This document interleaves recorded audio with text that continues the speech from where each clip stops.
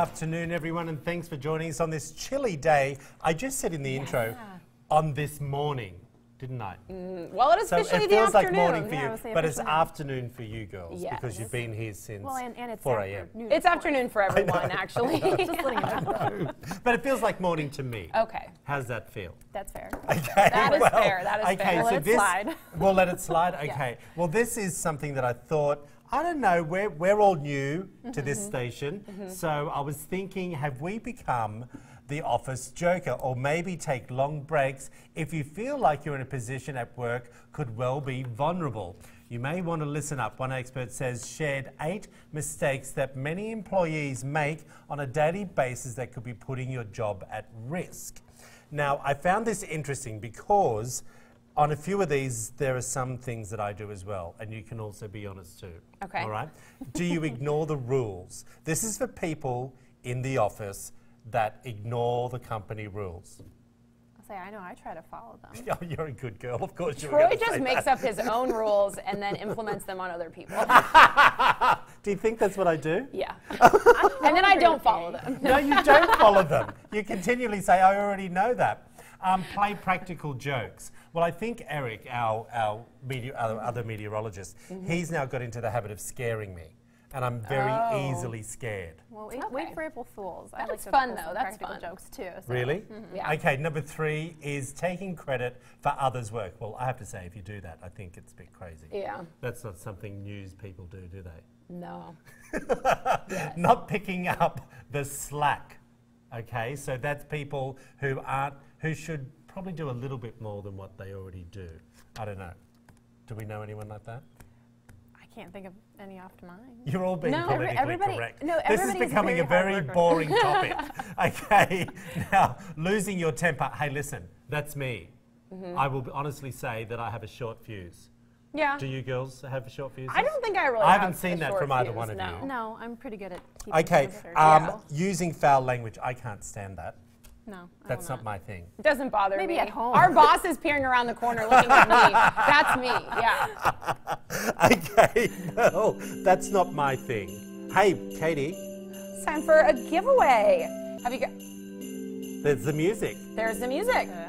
We're having a giveaway right now. Right now, call 859 566 3636. We're continuing our Christmas giveaways. The first two callers are going to win a $150 voucher for any service at the Anti Aging Institute, and we love them there. So, again, two callers will win that $150 voucher. Call that number there on your screen. Hey, Anti-Aging Institute is Oh, so that's a pretty beautiful. cool place. You've I been there over there as well, haven't Yeah, you? Isn't it stunning? It when you walk into their foyer, it is It's really cool. It looks like the Jetsons, I'm telling you. Yeah. Yes, it does. Agree? does. It does. Yeah. Everything's okay. white and it's Well, really what is happening with you, my friend? Have you guys finished your holiday shopping? Yes, I can officially say I've got I a have. couple of things, but I'm a I send to Australia, so Yeah, that's what I I, want to talk about. If, if you're sending things to relatives, Oh, okay. This year, get this: the Postal Service is estimating they're going to ship 750 million holiday packages, and now it's crunch time. Listen to this: in order to help Santa get those presents under the tree, so here are some deadlines you need to know if you want your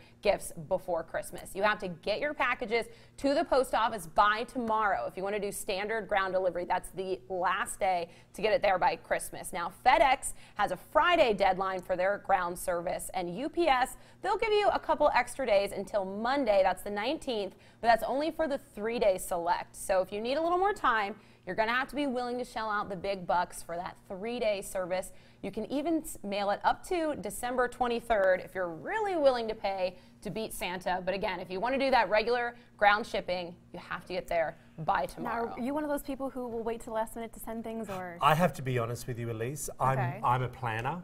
You, I think you should know me by now. Yeah. I plan ahead. I'm already thinking about April next year Oh, in my mind. Oh. But I will say to you hmm. that I was shocked last week. I did want to send something to Australia, and a magazine. It was over hundred dollars to have it shipped. Just for a magazine? One magazine Oh because of the, the hike in the hmm. pricing. I told them to keep the magazine at the post office where I was, and I went and bought my friend the subscription for two years for eighty dollars.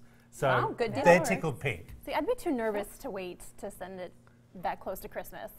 I like to plan things too. That's why I've got all of my Christmas shopping out of the way. Just yeah, waiting that close to Christmas. But we too need to use these services because we're not from this area. So we have to ship back to our homes, yeah? Yeah. And yes. friends, because we don't really know anyone. Or here. if I have done. We're gonna drive it there in person. Oh, next you're driving weekend. it there? Yeah. Good job. We, most of us will still see see the people. Good job. Or if you do right. online shopping, just send it right to. Yeah, I me. do a lot of online. At least I'm Yeah, looking forward works. to seeing what you've got for us. Well, keeping with the holiday Uh-huh. tradition, you were asking last week about where to go to see some lights. Yeah. Well, I don't know of any spots necessarily here in Lexington, but you know our freelance meteorologist George Brecky. Of course. He lives in Cincinnati, and he always goes all out He with does? his house for Christmas decorations. There is Wow. a Are you look kidding at me? his This house. is his house? Can you guys guess how many lights he puts on his house? Um, maybe, I, uh, to be honest with you, I don't want to lie and say I'd know. About f- a little over 50,000 lights. Wow. And y- he does this himself? Yes, he George does. does it himself. I believe he does it every year. It is absolutely fantastic. So Can I just say, what a commitment. Yeah.